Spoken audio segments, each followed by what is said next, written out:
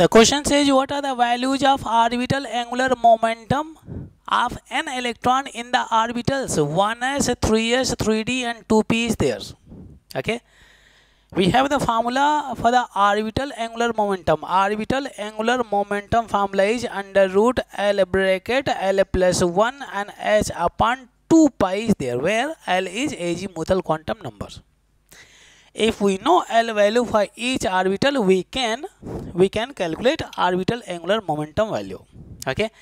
Always keep in mind L value is 0 for s orbital 1 for p orbital 2 for d orbital and 3 for f orbital is there. So if orbitals are given there we can identify L value. Okay?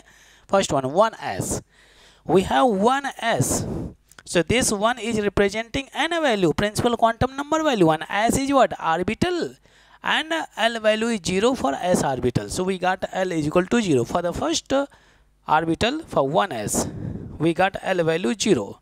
So we can calculate orbital angular momentum in this case under root bracket 0 bracket 0 plus 1 and h upon 2 pi is there.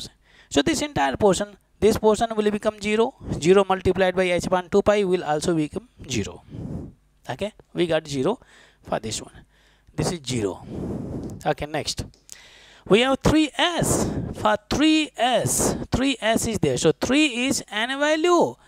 And from here we'll get l value. As orbital is there. L value is 0 so again same situation.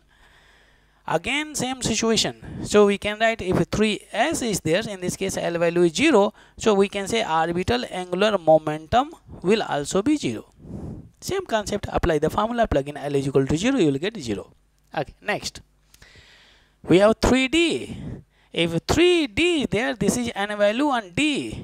This is what l value we can get. L value is 2 for d orbital. So l value will be 2 for d orbital.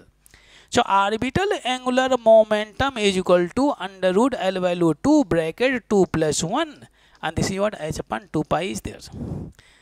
2 plus 1 3 2 is 6 under root 6 h upon 2 pi is there.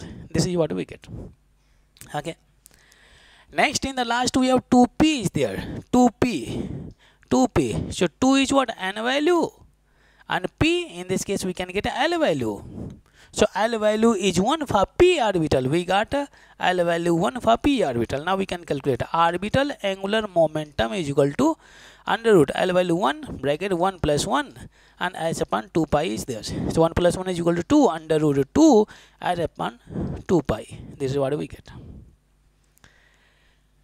so first we get 0, 3s also we are getting 0. For 3d we are getting under root, under root 6 h upon 2 pi is there.